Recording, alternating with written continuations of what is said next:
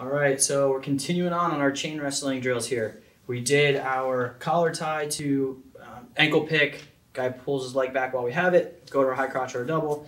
We've also done collar tie to go to the ankle pick. He steps it back early. We switch back to a snap and go short offense. Now we're going to go uh, chain wrestling from uh, the front headlock where we try to go for the ankle pick, and we can turn that also into a high crotch or a double, just like before. So um, again, starting this out with no setup, just so we can kind of see the, the actual process here.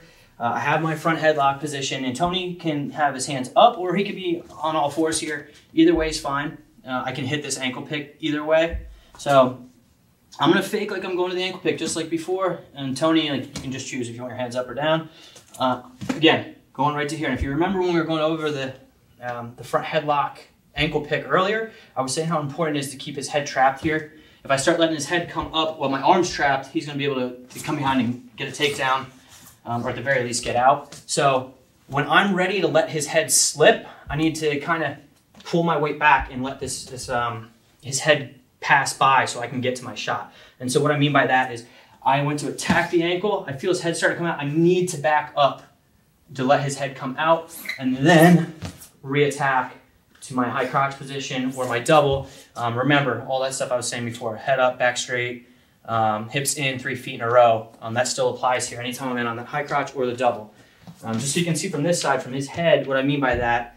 Uh, so we're in that front headlock, and again, if his hands are down this time, let's say it's different, I still went ankle pick. I can't let his head stay here trapped under my arm. When I feel him starting to lift, I know he wants out of this, so I need to let that go. I need to pull back just a little bit to let his head go and then re-penetrate to my shot. Now those things can kind of be happening at the same time.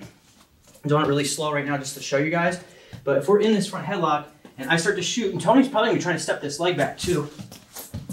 It's gonna kind of look more like that, but I need to make sure his head actually gets out. I can't get to his leg without freeing up this arm. If his head is under my arm, it's gonna block me from being able to attack.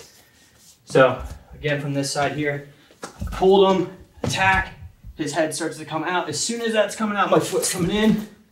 And again, we're getting to that angle for my double leg or my high crotch, and we're driving across and getting our finish.